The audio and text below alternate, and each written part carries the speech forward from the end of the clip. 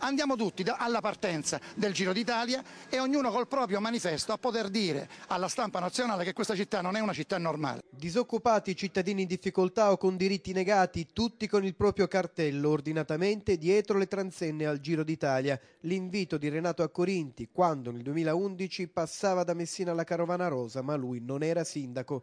L'appello era rivolto a tutti i messinesi in sofferenza, sottolineava il problema delle dismissioni ferroviarie e si contestava anche il fatto che le strade venissero asfaltate solo per occasioni importanti come il Giro d'Italia. Allora che vengono quelli dell'ATM, dell'Auto 3, delle ferrovie che stanno dismettendo, delle navi, di tutto quello che manca, che vuole dire manca tutto, altro che. E allora è il minimo di quello che dobbiamo fare. Veniamo e facciamo sentire alla stampa nazionale che questa città purtroppo non è normale, che vengono asfaltate le strade solamente perché passa il Giro d'Italia o perché viene un Papa o un Presidente della Repubblica, vedete un po' come siamo ridotti.